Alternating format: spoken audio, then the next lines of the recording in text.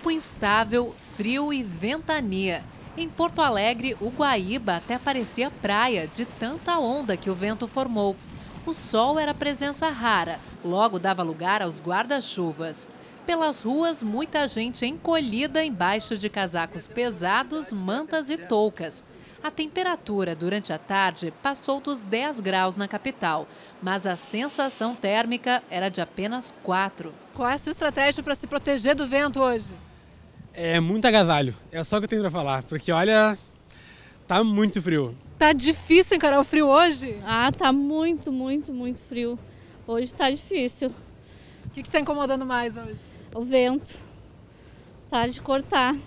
E esse vento forte que começou hoje no estado deve continuar amanhã e na madrugada de sábado. Segundo a Defesa Civil do Rio Grande do Sul, as rajadas podem chegar aos 90 km por hora no litoral e na Costa Doce. O vento está forte devido a um ciclone, né? mas devemos ter calma nessa hora porque o ciclone ele passa pelo mar. Essa noite temos a expectativa do aumento ainda do vento e durante a sexta-feira é, a gradativa diminuição desse vento. Amanhã o dia vai ter predomínio de tempo nublado com frio intenso ao amanhecer. A sensação térmica fica próxima de zero grau na maior parte do estado.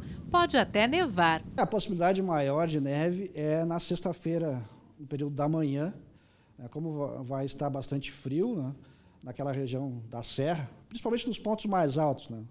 A possibilidade de neve aparece mais ali entre Bom Jesus até né, regiões da, da Serra Catarinense, São Joaquim, então sempre naqueles pontos mais altos onde tem uma possibilidade maior e a neve deve ser muito rápida também. No fim de semana o frio continua, mas o tempo firma no Rio Grande do Sul.